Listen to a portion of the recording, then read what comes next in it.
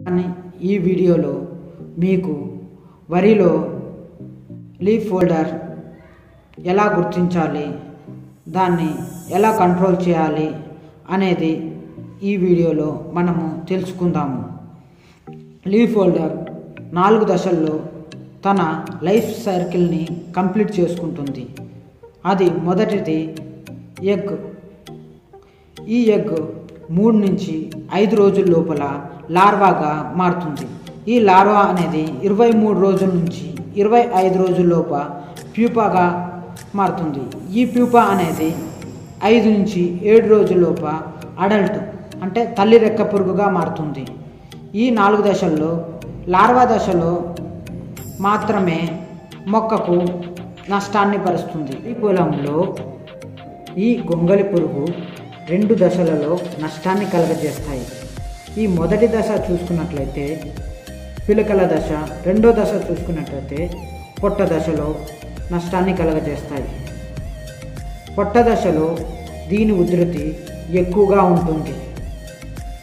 ఈ గొంగలి పురుగు ఆకును నిలువుగా మడిచి దగ్గరగా చేసుకొని ఆకులు రెండు అంచులను తెల్లటి సిలుకు దారంతో దగ్గరగా చేసుకొని రోల్ చేస్తారు.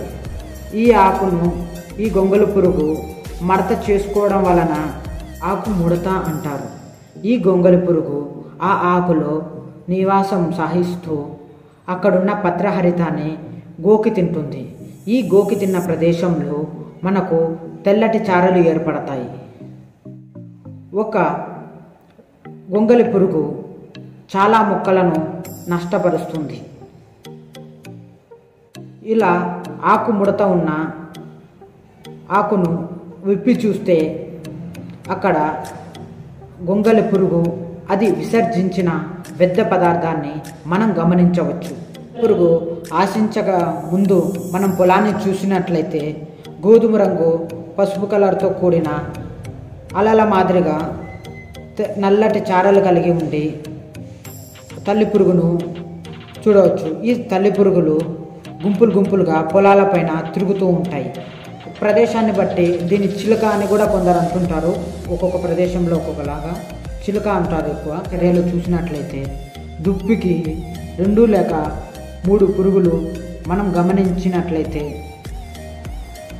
ఎఫ్ఎంసి కంపెనీ వారి కొరాజన్ సిక్స్టీ ఎంఎల్ పర్ ఎకరానికి స్ప్రే చేస్తే మనము ఈ పురుగు నుంచి పొలాన్ని కంట్రోల్ చేయవచ్చు.